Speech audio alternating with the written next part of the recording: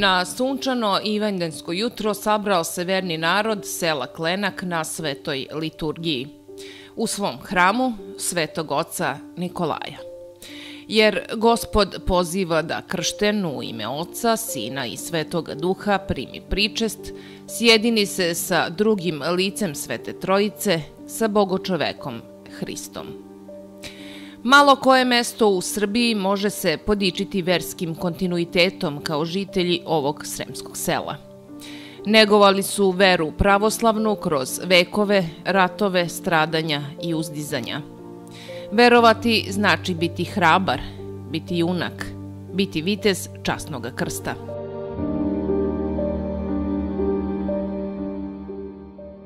Zahvaljujući proti Antoniju Apostoloviću koji se prihvatio pera i prepoznao važnost da se trenutak u vremenu zabeleži, nastao je letopis crkve u kom stoji da se ime sela Klenak prvi put pominje u arhivskim spisima Karlovačke mitropolije 1733. godine.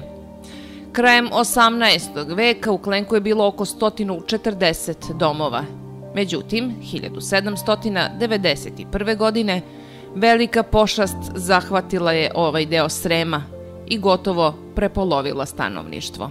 Ovo izumiranje desilo se za vreme Austro-Turskog rata koji je počeo 1788. godine. Završio se 1790. godine. Prota Antonije piše u letopisu da je ovaj, su čitave porodice izumirale, E, to se desilo negde oko 1791. godine, upravo zbog ovog rata, gde kaže da su ovaj, e, vojnici došli i doneli razne bolesti u ovo selo. Znači kuga i već bolesti tog tog vremena koje su bile.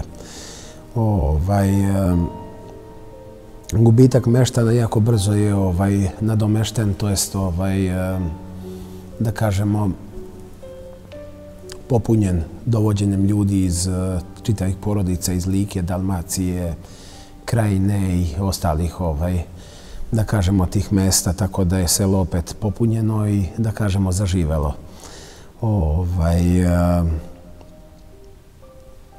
treba pomenuti da se za vreme za uh, Austro-Ugarskog rata nalazio stan austrijskog cara Josifa II. sina Marije Terezije upravo ovdje u Klenku, što je dokaz uh, jedna kuća ovde, da kažemo, u jednoj od ulica gde ovaj, eh, nalazimo cigle sa njegovim inicijalima FJ, e, to jest Franja Josif.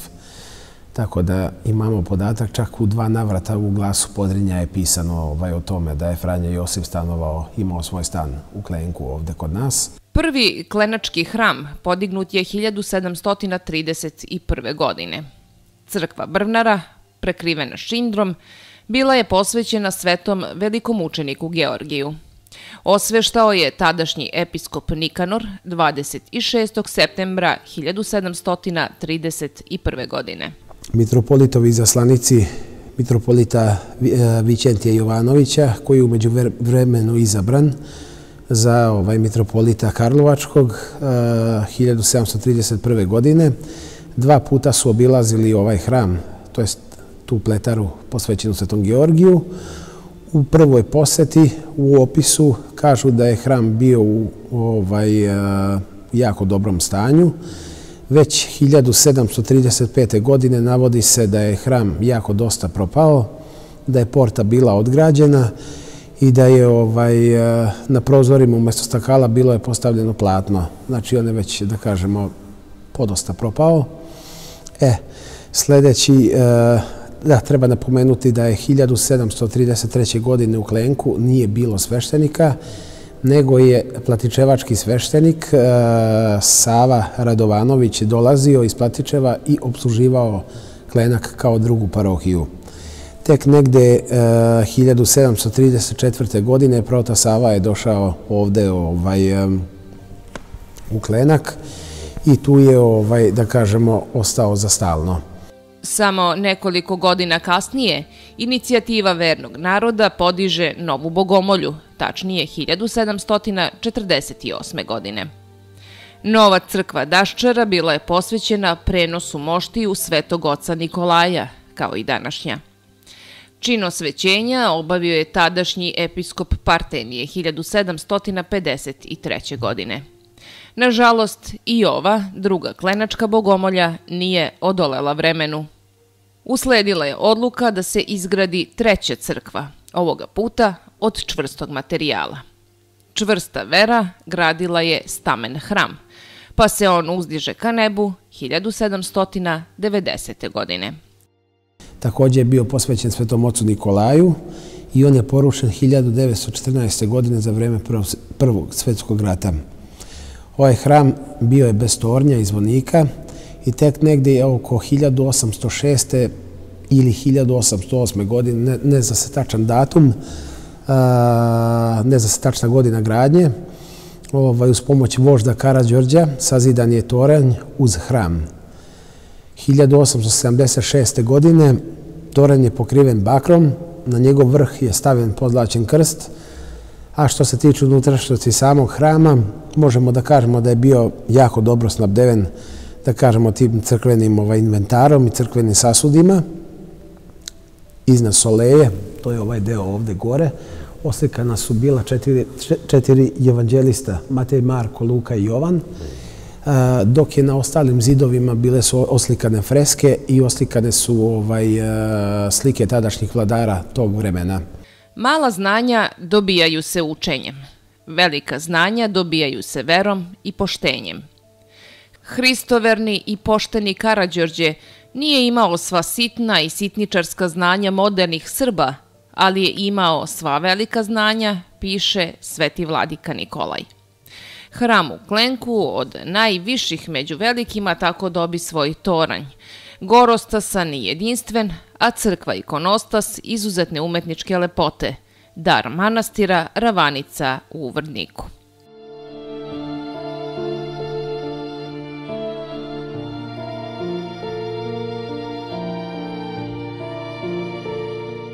Krvavi mađarsko-srpski rat otpočeo je napadom na Sremske Karlovce 12. juna 1848. godine i brzo se raširio po Vojvodini. Strahujući za svoje najveće svetinje, iz manastira Sremska Ravanica u Klenački hram prenose se mošti svetog velikomučenika kneza Lazara. Svog svetitelja dočekalo je na stotine vernika.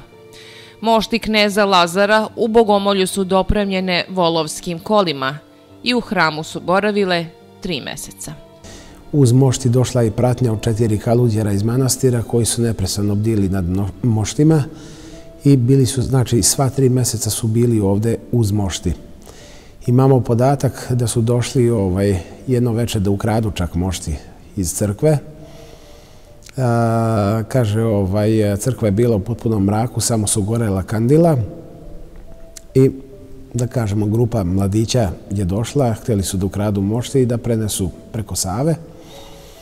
Međutim, ovaj, dugo su stajali ispred ulaza u hram i razmišljali šta da rade, da li da, ovaj, da, li da uđu, da li da ne uđu, ali ipak nije mala stvar ukrasi mošti svetitelja jedan od četvorice koji je bio onako najodvažniji, najsmeliji, on je ovaj, došao i ušao unutra, prekrsio se i kaže kako je se sagio da ovaj, celiva mošti, tako je osetio ovaj, ruku tog monaha koji je bio čuvar moštiju i taj dečko koji je došao to da ukrade, u momentu je se pokajao i, da kažemo, ispovedio svoje grehe i pokajao, pokajao se za to što je ovaj, uopšte i pomislio tako nešto da uradi.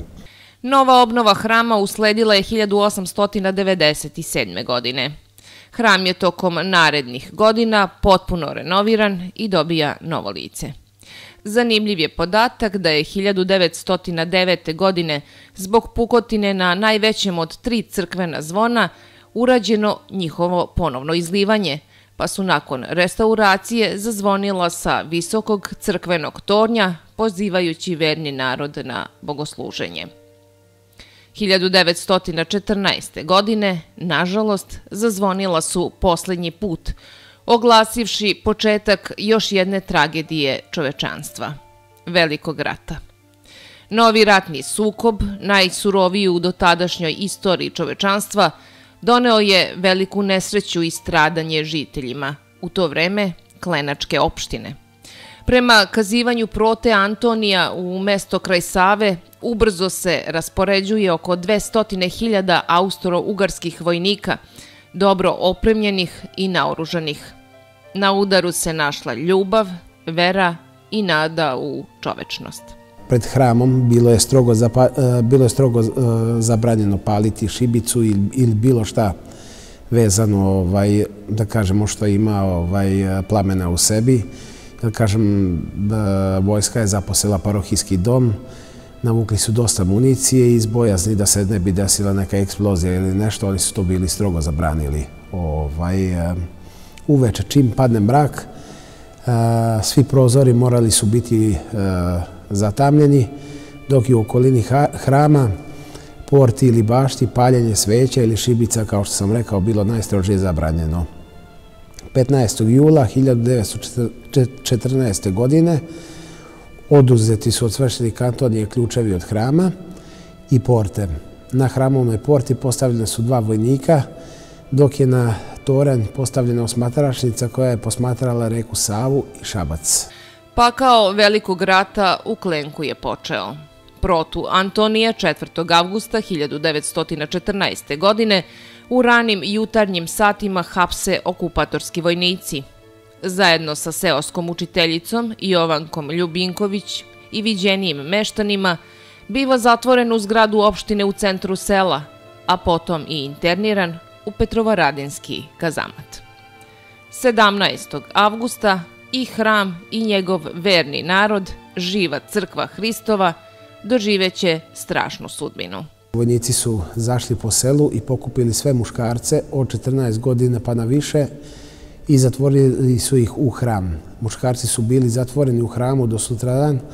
Kada je pred hram došao glavni komadant, izveli su ih iz hrama, izveli su deset meštana i streljali ih u dvorištu opštine, koja se, kažem, nalazi ovde na centru sela. Tu su ih odmah i pokopali. Istog dana predveče 274 meštana na čelu sa protom su vozom odvedeni za Arad. U selu su ostali samo žene i deca. Neke od žena, da kažemo, koje su se smelile i bile najhrebrije, došle su ovde do hrama da vide šta se dešava sa hramom i u kakvom je stanju. Ono što su zatekli, to je bilo zaista stravično. E, Austro-Ugarska vojska je uvela je konje unutra ovde u hram sve sasude crkvene, sve da kažemo, znači ovaj, eh, te crkvene ovaj, eh, ripide, barjaci, ikone, sve stvari od vrednosti koje smo imali, sve to pokupljeno i odneto, Bog zna gde, dan dana se ne zna. Tako da došli su, ostale su gole zidine ovde u hramu. Ovaj, eh, recimo imali smo okov sa evanđelja koji je bio od srebra, to je nestalo srebrna kandila, znači sve što je bilo, ovaj, da kažem, od vrednosti, to je odneto. Hram je još uvek bio postojan, ali ovaj, je toran bio jako oštećen od džuladi, od šapnela, pošto ovaj, su ga gađali neprestano sa šabačke strane. Ovaj, e, tako da on je bio jako, jako oštećen, dok sam hram je bio potpuno sravljen, da kažemo brod ovde, ovaj, crkve bio je potpuno sravljen, sravljen, jedino, kažem, ostao je toren koji je bio u jako lošem stanju. I hram i čitav klenak spaljeni su do temelja te 1914. godine.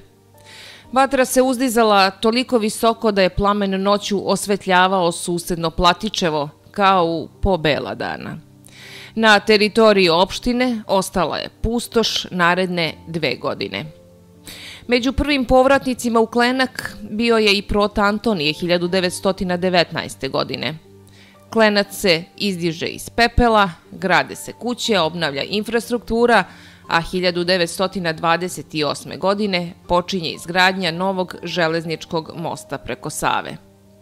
3. juna 1934. godine Šabački hram proslavljao je stogodišnicu postojanja i tom prilikom tadašnji patrijarh, patrijarh srpski, gospodin Varnava Rosić, prolazio je kroz Klenak za Šabac, te je 2. juna posetio i naš hram, što nije mala stvar da čuveni patrijarh Varnava Rosić dođe u Klenak i, eto da kažemo, obiđe i ovaj hram. Prota Antoni Apostolović upokojio se 8. novembra 1935. godine. Sahranjen je na starom klenačkom groblju. Danas se ne zna gde tačno počiva ovaj pastir Božiji, koji je stanovnike Klenka zadužio svojim životom, čašću i misijom. 2. marta naredne godine u Klenačku parohiju dolazi Sava Milanović. Ovaj sveštenik bio je učesnik krvavog marša Jarak Šabac. 4. jula 1937. godine osveštava temelje novog hrama, koji je dozidan uz postojeći zvonik Titora Vožda Karadžorđa. Iste godine u decembru osveštani su krstovi Bogomolje, a godinu dana kasnije i tri nova zvona, poklon kralja Petra II. Karadžorđevića. Zvona je izlila livnica Pantelić iz Zemuna. Veliko zvono koje imamo sad na hramu je teško 1174 kg, srednje 631 kg, a malo 287 kg. Zvona su na toren podignuta volovima, specijalno napravljenim čekrcima, koji su to vreme ovaj, bili izrađeni i, kažem, volovi su ovaj, uspeli da podignu gore ovaj, toliko teška zvona. Sat je poklonila tadašnja opština Klenačka i također je urađen u Livnici u Zemunu. U novembru 2016. godine sat izvona prebacili smo na električni pogon, tako da sad ovaj, nemamo više problema ni sa, ovaj, da kažem, zvonjenjem onim na konopac kao što je nekad bilo. Tako da smo dosta olakšali, jer ovde u selu je postoje običaj ovaj, kad krene opelo, recimo ako krene u jedan sat, zvoni se sve do onog momenta dok se ovaj, kolica ne vrate sa groblja. To nekad može da traje po 2-3 sata i sad zamislite lupanje 2-3 sata u zvona, to je baš, da kažemo, i šteti zvonima i ovaj, onda smo uspeli da skupimo novac i da to prebacimo na struju, tako da, hvala Bogu, sad ovaj, to funkcioniše kako treba. Klenak je još 1937. godine imao svoje osmočlano crkveno pevačko društvo omasovljeno i uzraslo pred sam početak drugog svetskog rata, ovo udruženje crkvi je poklonilo polijelej koji se nalazi ispred ikonostasa.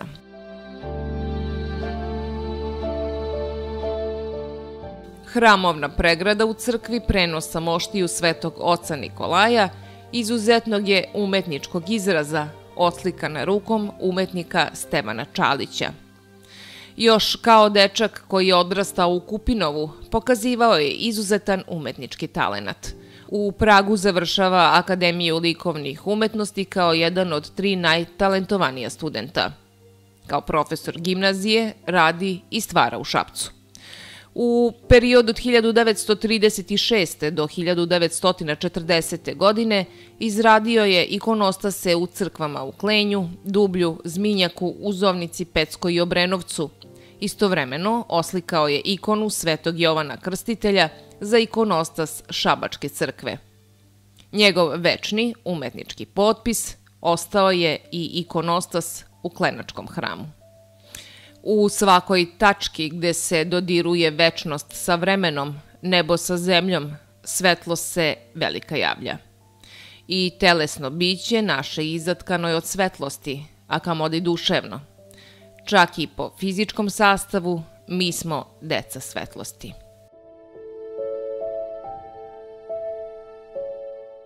U svom novom sjaju, međutim, crkva neće dugo ostati. Usahnuće dolaskom novog ratnog suhoba, drugog svetskog rata. Zbog pretnji smrću od strane nemačkog okupatora, otac Sava Milanović iz Klenka odlazi u Šabac i sa sobom nosi matične knjige, i crkvenu arhivu. Ali na veliku žalost te matice mu se oduzimaju od strane dvojice nemačkih vojnika koji su ciljno bili poslati da ga nađu i da mu to oduzmu. Te iste matice koje smo, da kažem, imali, nažalost, su spaljene, tako da ovaj, ovde u hramu nemamo, da kažem, jako malo podataka je ostalo ovaj, od tih nekih, da kažemo, starih vremena. Ponovna bogosluženja u hramu nastavljaju se nakon završetka rata 1945. godine. Po odlasku u penziju, oca Savu 1953. nasleđuje prota Branko Sivčev.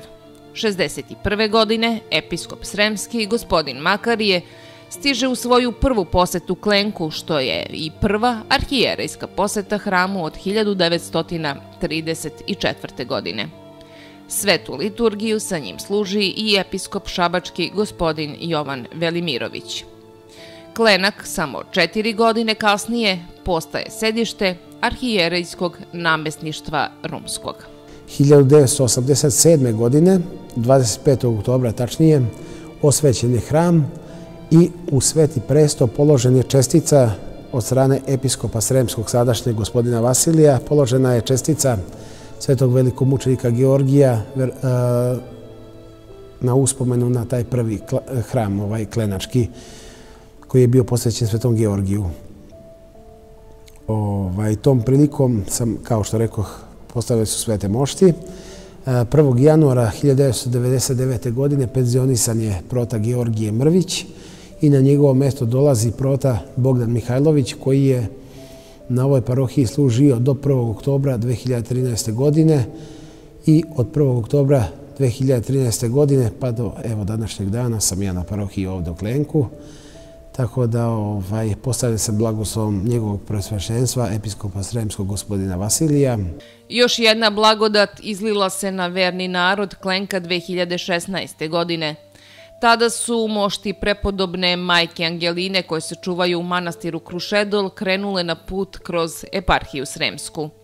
U namesništvo Rumsko ušle su iz Hrtkovaca, a narod je čitav dan i noć dolazio u hram i celivao mošti svetiteljke. 5. maja u popodnevnim časovima stigle su klenak na malom raskršću, to je dole kod nas raskrštica jedna, ovaj, da kažemo, veća.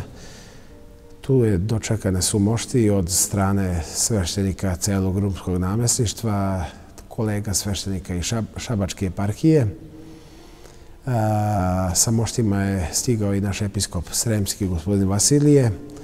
Mošti su na rukama od malog raskršća do hrama nošene ovde ovaj, na rukama. Mošti su boravile u Klenku 5. i 6. juna, E, 5. i 6. maja. Dakle, stigle su oči Đurđevdana, na Đurđevdan su otišle dalje za Platničevo. 2019. godine započeta je izgradnja palionice za sveće, koja je i kapela posvećena svetom velikom učeniku Georgiju. Osveštao je episkop Sremski gospodin Vasilije 2020. godine. Sveta liturgija u crkvi služi se svake nedelje i praznicima. Svečari u Klenku najčešće kao zaštitnike domova slave svetog Nikolu, potom svetog Jovana, svete arhangele Mihajla i Georgija. Upuću i molitve za zdravlje i beričet, negujući veru pravoslavnu. Dakle, ni u ratu, niti u miru, u radosti i stradalaštvu kao narod nismo se odrodili, nismo otpali od vere. Zadržali smo blagodarnost. Zadržali smo na početku dana pomozi Bože, a sa prvim sumrakom slava i hvala gospode na svemu. To je Srbinova molitva, početna i završna.